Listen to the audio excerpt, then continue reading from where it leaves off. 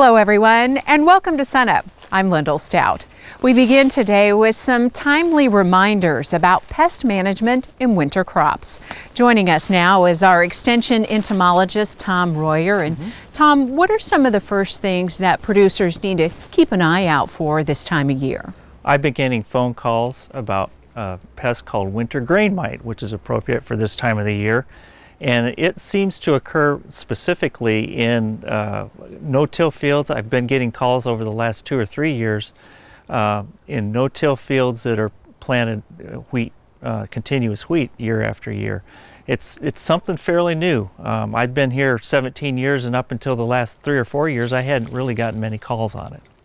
So, in terms of scouting for these mites, what do producers need to do? There's some, some time considerations. There is some time considerations. Winter grain mites hate the sunlight. That's, you might think of them as a vampire. But so on a cloudy day, they will be out feeding on the leaves. Or another another good time to scout for them is in the evening after the sun starts going down. Then they will crawl out, and you'll be easily be able to see them. Uh, we don't really have a good threshold for them, but uh, if your wheat is starting to look, take on a grayish cast, and uh, you see, you know, hundreds of mites per square foot, that's probably an indication you need to do something to treat for them because they can they can injure the wheat at that point in time. And what do they look like up close? There's some some colors that we have a fondness for yes, here at Oklahoma yes, State. Absolutely. Uh, you need to have a, a, magnifying glass because they're very tiny, but they have a black body with orange legs and an orange spot on their back. So the orange and black is very, you know, theme specific to Oklahoma State.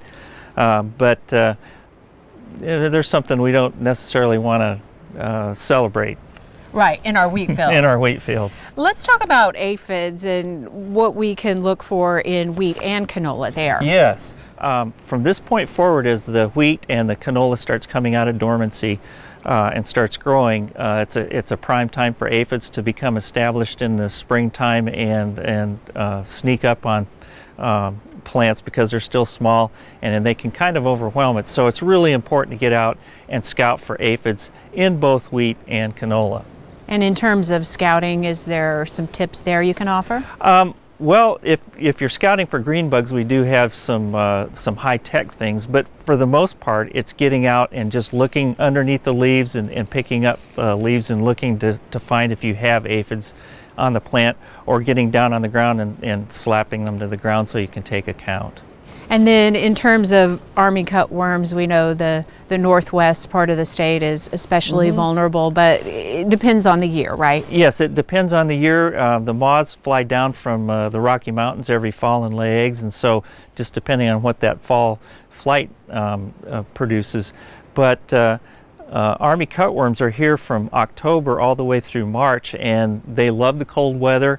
They will feed on uh, canola and wheat, and uh, I've, I've, heard, I've heard farmers actually say it looked like my wheat or my canola just turned right back and dove back into the ground because they take out stands. So it's really important to regularly look and make sure your stand is not uh, deteriorating or you're losing stand in those fields. And is the best way to do that is just to, to check often or check often. look at those I, yeah, stands? You need to look every week or every two weeks just to make sure you're not getting caught off guard with these things because as those caterpillars get big, they start getting really uh, hungry and they can really take out a lot of stand as they get bigger.